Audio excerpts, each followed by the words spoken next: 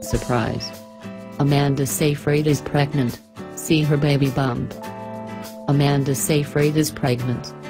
The actress announced that she is expecting at Tuesday's Givenchy press launch for their new Live Irresistible fragrance, which she is a spokesmodel for.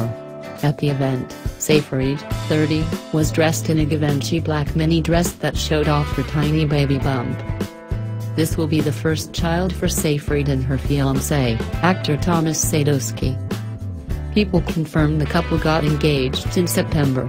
The actress was pictured wearing a silver band on her left ring finger while out and about with her beloved dog Finn in New York City. Seyfried and Sadoski, 40, first met while working together on the off-Broadway show The Way We Get By last year, and began their romance when they reunited on the set of their upcoming film The Last Word. People confirmed their relationship in March.